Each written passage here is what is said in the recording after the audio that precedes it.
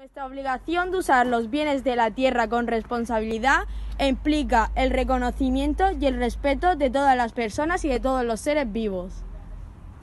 En los países menos desarrollados, la sociedad, al no tener recursos necesarios para sobrevivir, los buscan en el medio en el que habitan. Uno de estos recursos es el agua. Algunas personas, al beber de estas aguas contaminadas, padecen enfermedades. Nosotros desde aquí debemos contribuir para evitar que esto no siga hacia adelante. Una de estas medidas es no malgastar la comida, ya que en estos países es escasa. Uno de estos motivos por lo que estos países no pueden obtener recursos suficientes para alimentarse es debido a que las tierras están en sequía y no pueden producir estos alimentos necesarios para nosotros los seres vivos. Cuida el medio ambiente y te cuidarás a ti mismo.